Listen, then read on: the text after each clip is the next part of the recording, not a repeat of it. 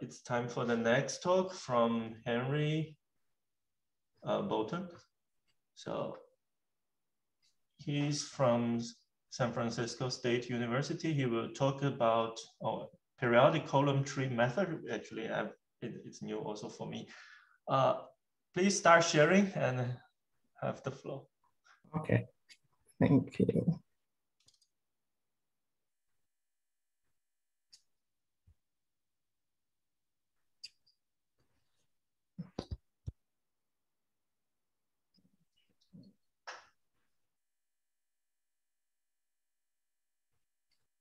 Okay. All right, can you see? Yes, it's in full screen mode. Okay, thank you.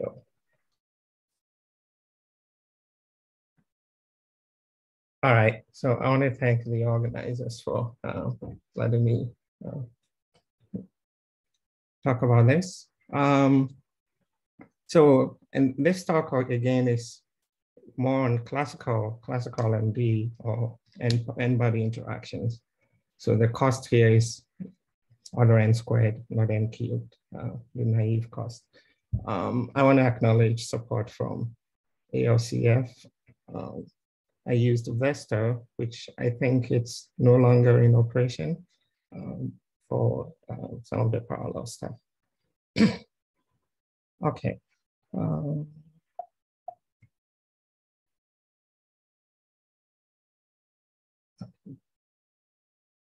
So a lot of, all of what I'm going to talk about is in uh, the paper below here. Um, this is going to be just a simple preview.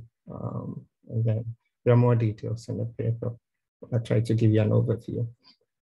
Um, so the goal here uh, is to present this tree algorithm um, and, and show how it competes with particle mesh Ewald.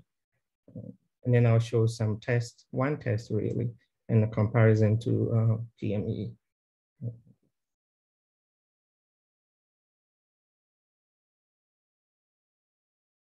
Okay.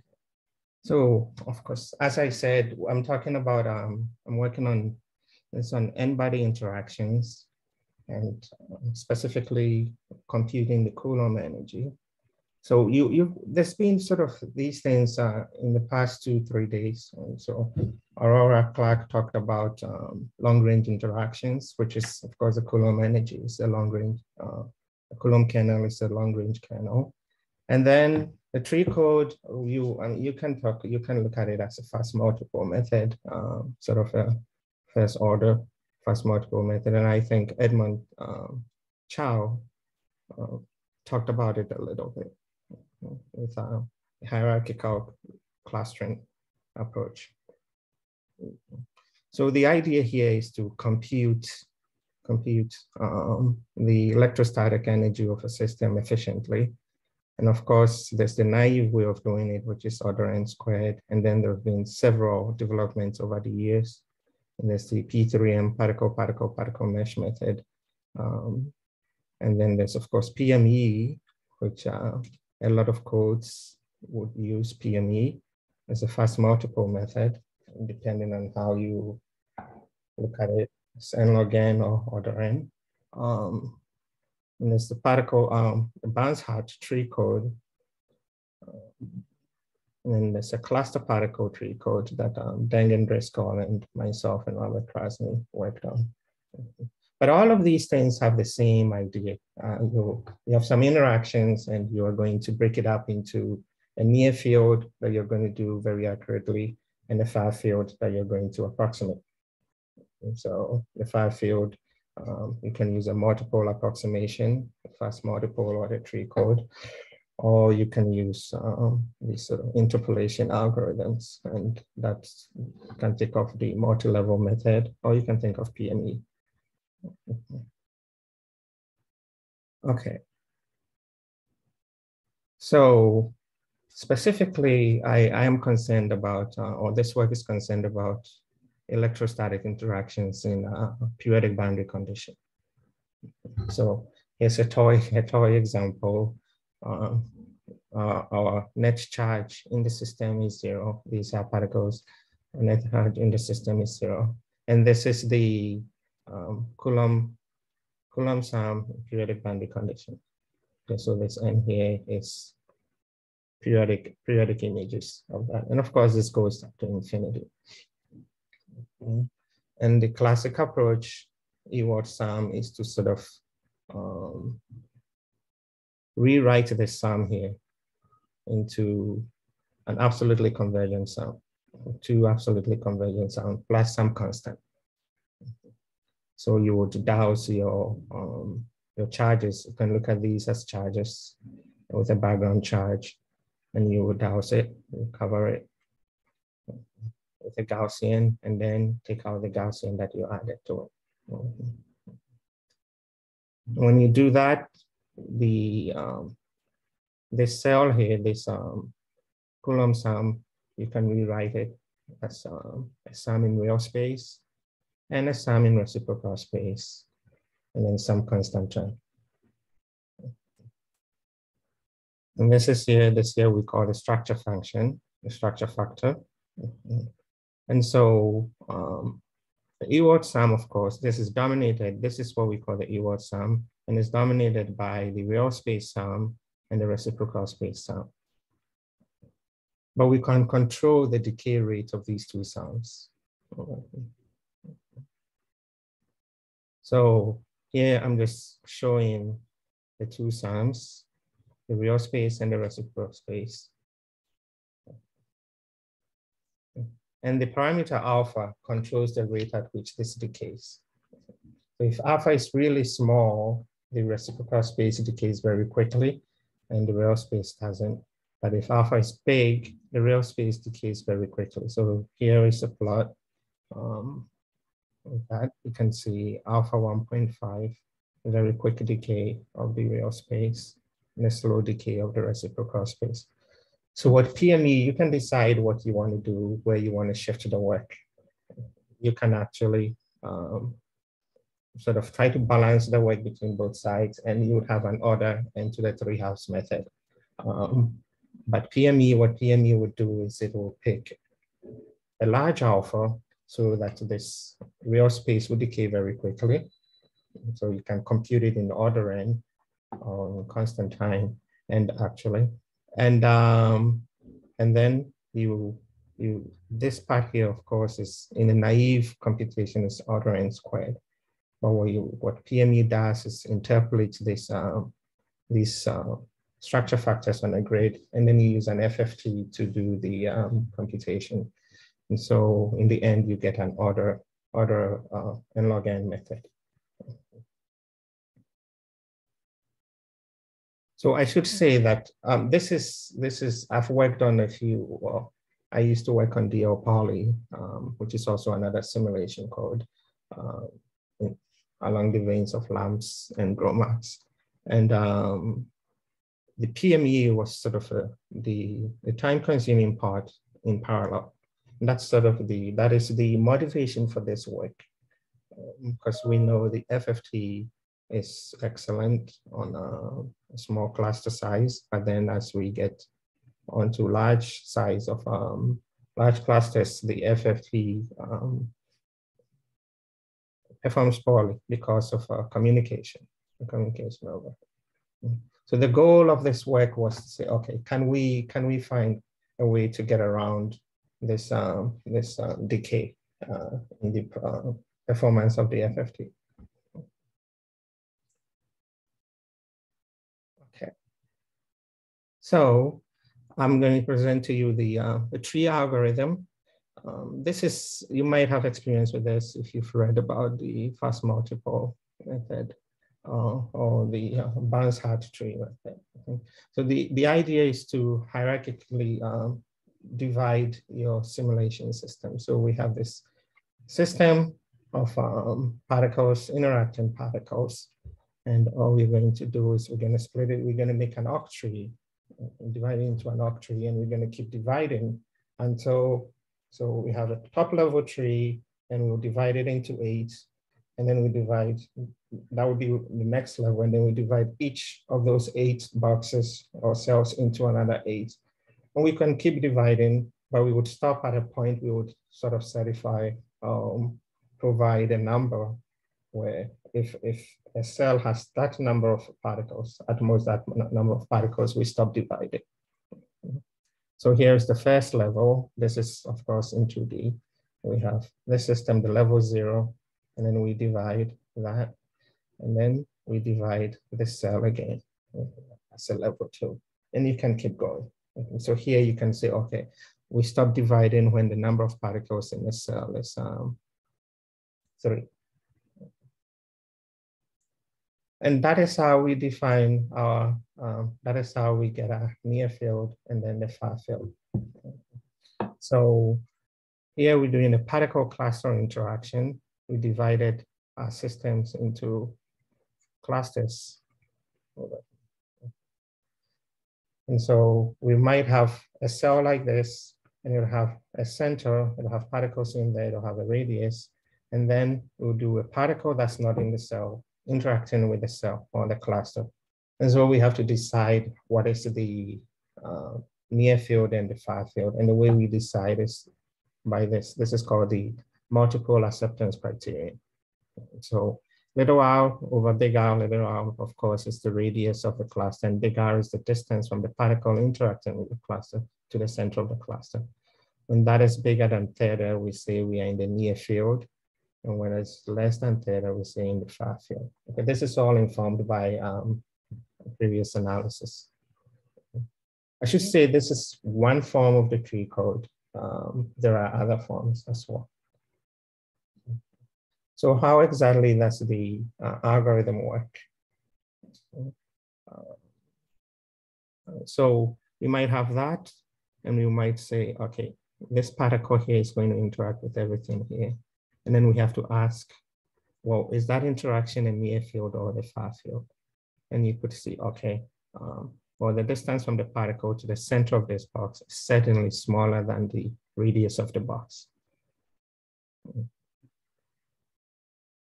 And so, of course, this big R, little r over big R is going to be uh, greater than one, and theta is, um, has to be less than one. And so this is going to fail. And so the particle interaction will go from interaction with level zero to interactions with clusters in level one. And then we ask the same question again. Um, mm -hmm. So, okay.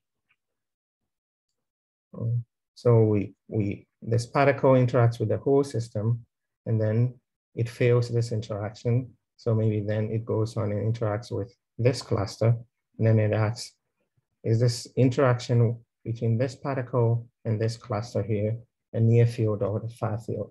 If it's near field, then it goes and asks its children. But if it's far field, then it interacts um, using a, an approximation, a multipole approximation.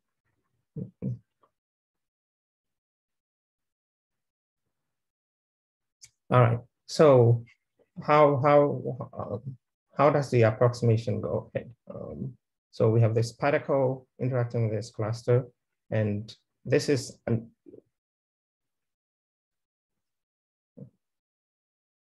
the approximation is just a p-order Taylor, um, Taylor polynomial approximation. so we are taking a, a multidimensional Taylor approximation here. Uh, we just take derivatives of the kernel, and this kernel, of course, is just the one over R kernel that we have um, for this particular problem. It can be any other kernel, um, any other decaying kernel. And so here is just a multidimensional Taylor series. Um, the goal isn't to go through it. I just want you to see a little bit of the um, computation that goes on. And when we write this, we can collect, we can collect these terms here. We can collect um,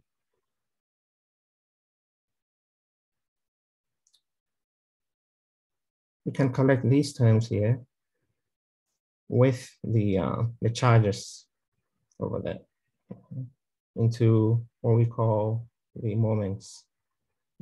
So I want to point out that the moments here, uh, they only depend on the properties of the cluster. They don't depend on the particle interacting with the cluster. And so when we build our tree, we, we for each moment, for each cluster, we can compute its moment and store it. And of course, when you're doing MD, you're going to be, well, all the particles are interacting with all the other particles. So when a particle interacts with a cluster, it need it will need to uh, do this computation. It's going to need this moment here. But once we store this moment, we can use it repeatedly. That's one time saving feature of um, of the of the tree code. So we compute the moments, and then whenever a particle interacts with a cluster, it's only the only real um, computation we're doing is computing these Taylor coefficients here, which are really just that.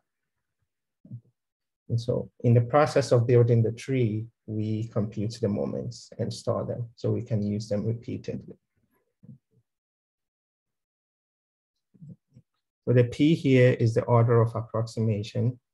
Um, and that is, that is going to, of course, affect the accuracy of your computation. And you, the user gets to decide what order of P you want to use. The first instance of the tree code, the Barnes-Hut, the P was just a zeroth order approximation. Um, okay. And of course, if we're doing MD, we need to be able to take forces. And so we can take forces, uh, derivatives of the, um, of the, of the Taylor approximation as well. And that's what you get. And again, the derivatives only, they hit the, the um, Taylor coefficients, not the moments, because you're taking derivatives in X not with the y's in the cluster. So again, we have the moments, then we can get the, the forces that we need. So these Taylor coefficients here, there's a recurrence relation. We can derive a recurrence relation. This is a recurrence relation for the one over R kernel. Um, there are recurrence relations for other kernels that we can use. Mm -hmm. So I've, I've actually already gone through this, but um, I can uh, I can do it again. So the here's the algorithm in, in free space, really. So you have your you input your set of interacting particles X with your charges. There are n of them. So that's the particle data. And then you give the algorithm the, um, the theta you want to use, the MAC. So the smaller theta means that, oh, okay, you're being very stringent and um, you're probably going to have more of the near field than the far field. And so you you have higher accuracy because that means it's going to take a longer, a longer time. Okay. You have to give n naught, which is telling the system or the algorithm divide until the leaf has n naught particles, and then you, you stop. Okay. So then you construct your tree and you compute the moments of each cluster during this tree interaction. And then you just loop over um, the particles. And then you compute the interactions of a particle with the root of the tree. You compute this interaction. And so then you call your MAC and you say, is the MAC satisfied over here? If it's not, well, if it is, then compute the interaction between particle i and the cluster using multipole approximation. Else, if the MAC is not else, well, if the cluster is a leaf, computer interaction using direct summation.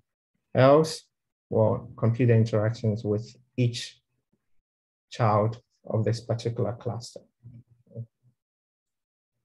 I should say, so I, I, I multipole approximation here. This is one choice. There's been developments now where uh, you don't have to use a multipole approximation. You can use you can just use some polynomial, um, three-dimensional polynomial approximation of the um, of your potential in the in the cluster. So there are other forms of uh, approximating this interaction. It doesn't have to be a multipole approximation. So this is, um, I label this free space, and this is when you have your interactions, your um, in just a fundamental box. So that's not a periodic, a periodic um, tree code. That's just the fundamental box. And you're just doing, doing the interactions of the particle in there. So um, what of the periodic tree? I want to take you back. We started out saying that this is, this is what we wanted to compute. And the sort of standard way of doing it is the Ewald sum. Okay. So we, we rewrite this conditionally convergent sum into two absolutely convergent sum and uh, a constant term. Okay. And then we, uh, and then PME will just use FFT for the reciprocal space. Okay. So this particular project here, we are trying to not to do PME. And E. And so the goal is to actually compute the sum here. This here, this n here goes to infinity, but we, we are going to cut it off. So this is pretty much the, uh, the same idea as the free space tree code that I just presented. So this is our fundamental cell. Everything I've talked about, about the tree code is refers to this cell here. Now we are going to look over all the images. So this is the cell replicated in space. And then you can imagine, oh, so this is the first level or nearest neighbors that. And then you can imagine having more and then even more uh, neighbors. And so this one here, of course, you can we can just refer, we go to, uh, this is a minus one, this is a plus one okay, in X, and then minus one plus one in Y. So you can imagine in 3D, we go from minus one to, to one in all three dimensions. Okay. So what we are doing here is, okay, so we have this system and we are going to replicate it in space in order to compute this, uh, this object here. And um, what we'll do, this particle, let's say, let's take an example. This particle here interacts with everything here, but then it has to interact with everything out here and everything further out. So this particle wants to interact with this system here. But I want you to see, um, note that the periodic images are just the fundamental box shifted. And so the, the, the tree, because we're doing a tree code, the tree for this fundamental, this image or the images are really the same as the tree in the fundamental box. Nothing is changing. And so the clusters here are the same as the clusters there. And so the moments over here are really the same as the moments here. If you look at it, our moments, of course, we computed as the center of the cell minus the particles, the position of all the particles okay, to some power, k. That's the kth moment. Okay. But we've shifted all of the um, particles by some um, constant amount, n, which is of course um, the, the vector of the periodic image, the shift, and then L, which is the box length. But we, we, we do this subtraction here. So they go away, the NLs go away. And we get the same moment as we got from the, uh, for the free space. Okay. So what is happening is we don't really, we don't really have to replicate this physically. We just have the fundamental box and we are going to um, build the tree in the fundamental box. And whenever we are interacting with periodic images, all we are doing is recomputing um, just computing new Taylor coefficients. Just the centers that have changed. One time saving feature, of course, originally in the fundamental cell, when we interacted this, this particle with the whole cell, the interaction failed because it failed, um, it wasn't a far field interaction. But now, of course, this particle here with this cell, this might fail because this distance, this distance of the particle to the center of the cell is not as big. Um, it's not that big, much bigger than the radius of the cell. So this particle will interact with this, the next level of the cell, not the zeroth level. It will interact with the first level and then maybe even the second level. But that particle will interact with this whole cell here because it's very far from this, uh, this cluster or this, this, um, this uh, image. And that is also another time-saving feature of uh, the periodic tree code. So the periodic um, Coulomb tree code is really just the tree code replicated in space. And then we use that to compute this.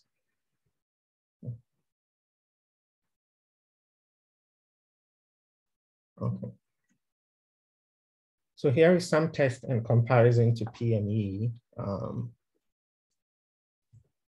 the first test, so I, I um, what I did was I incorporated this into DL Poly Classic.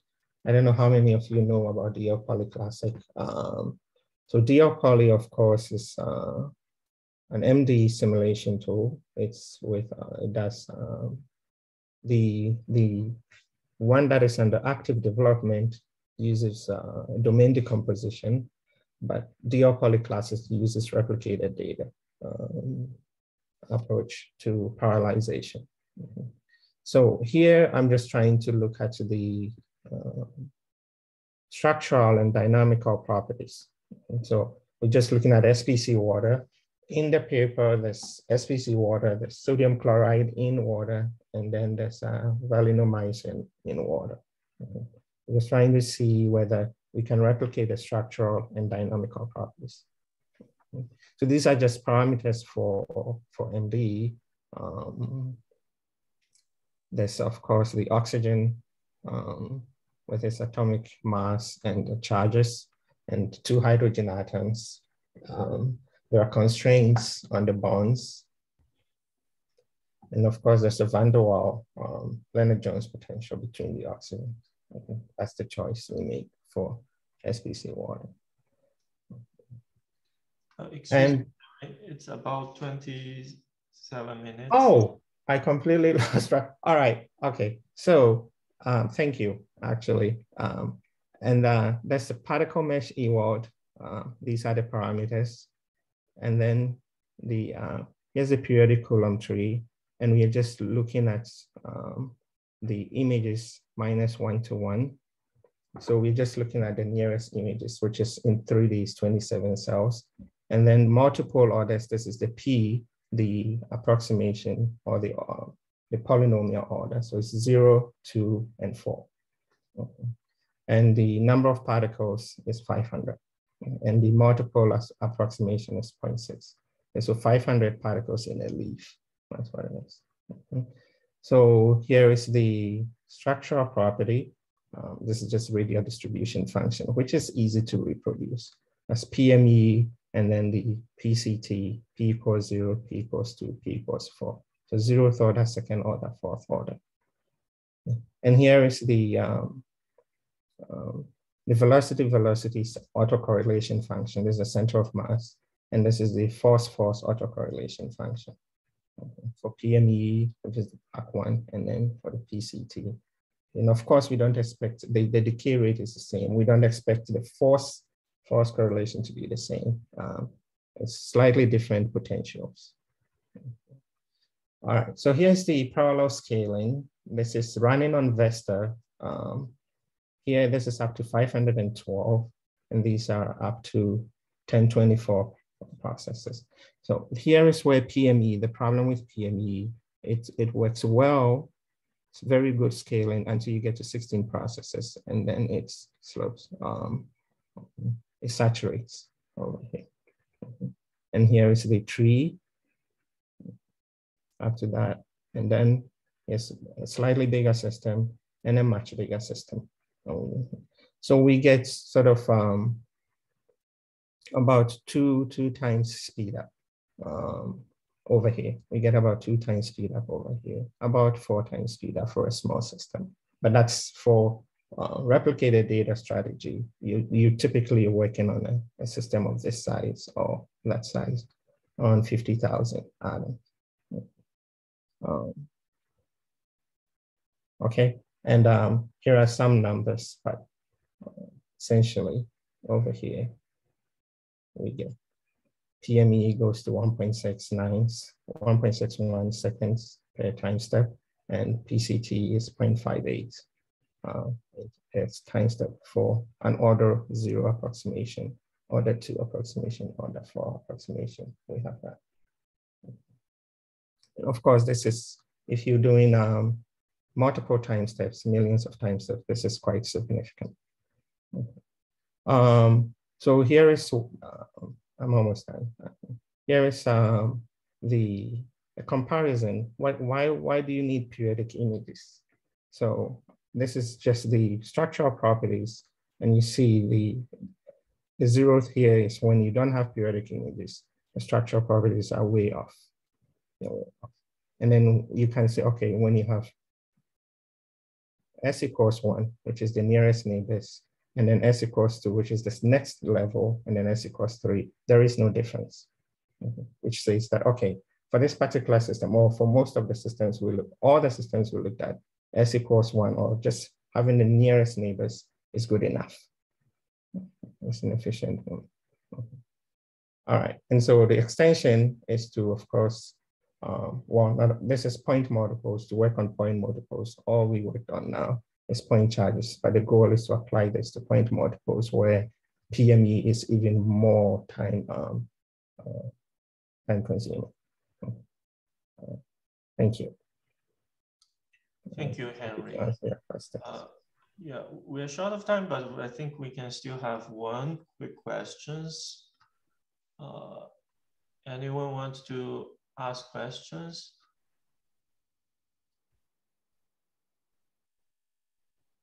Okay, I can have a quick one. Uh, Henry, so a lot of material studies nowadays, we, we do quasi 3D system like uh, surface, that is like uh, bulk and vacuum, uh, vacuum.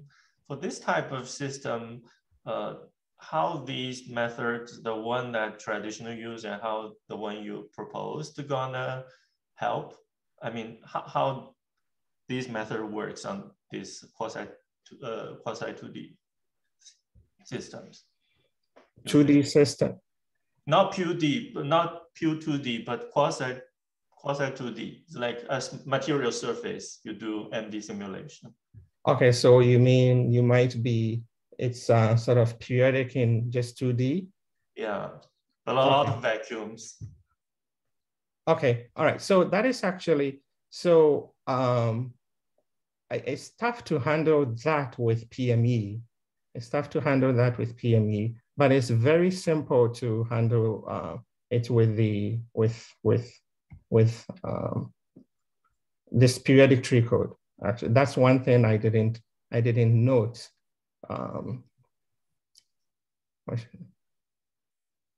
yeah, so essentially this n here, this is a, this is this is a parameter in the code, and you you tell the algorithm how it should um, how it should um, handle the periodic boundaries. So if you just want, let's say it's a 2D material, uh, or only it's only periodic in X and Y, then your, your Z coordinate is fixed. And so in the code, you don't, you don't replicate in Z, you only replicate in X and Y. And it, it handles it automatically. That is, that is one feature of um, this periodic Coulomb tree that I didn't talk about. Thank you for saying that, yeah. Um, so yeah, so in the sense, quasi 2D materials, this, this will handle it well. Um, you can probably do it with um, PME, but it will take sort of a lot of work to uh, yeah, FFT hates vacuums. Yeah. Yeah, but this one will work. It yeah, this one works well. Yeah. Okay. Thank you. Thank you, Henry. So uh, we uh, enter entering okay, another okay. break. So let's continue on the yeah on the on the coffee break room.